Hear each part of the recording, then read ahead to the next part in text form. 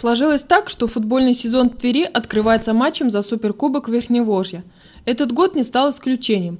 В битве за трофей встречались две достойнейших команды – многократный чемпион области Реал Тверь и обладатель Кубка региона ФК Верхневожье Калининского района. Если для Реала победить в споре за Суперкубок стало привычным делом, то Верхневожье титулами не избаловано. Например, Кубок области в прошлом году подопечные Владимира Мертенса выиграли впервые за 10 лет. У них вот администрация хорошо вот, помогает последние 2-3 года. Как бы. Команда очень опытная, очень хорошая, показывает очень хорошую игру, надежную.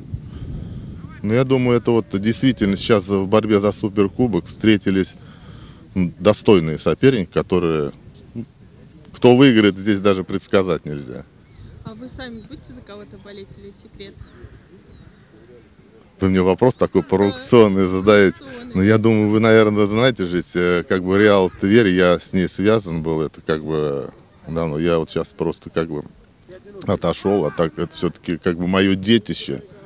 Конечно, небольшие симпатии будут, конечно, отданы Реалу.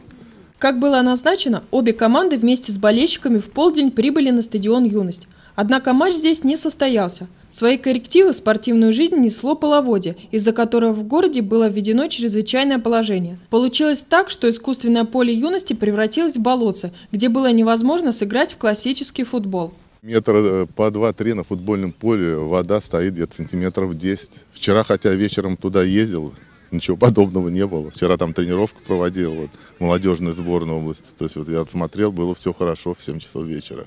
Из-за того, что матч аврально был перенесен на стадион «Планета», некоторые зрители не смогли оказать поддержку любимым командам. Те, кто успел передислоцироваться, наблюдали ровную игру. Соперники осторожничали, попеременно атаковали ворота друг друга. В итоге болельщиков порадовали голами только в конце второго тайма. Правда, первый мяч, залетевший в ворота Реала судьей, был не засчитан, так как был забит из положения вне игры. А в добавленное время соперники по очереди огорчили голкиперов. Основное время так и закончилось со счетом 1-1. Судьба Суперкубка решалась в серии 11-метровых. Случилось так, что точнее и собраннее оказались футболисты Верхневожья, которые со счетом 4-2 по пенальти вышли вперед и впервые в своей истории завоевали самый престижный трофей областного футбола.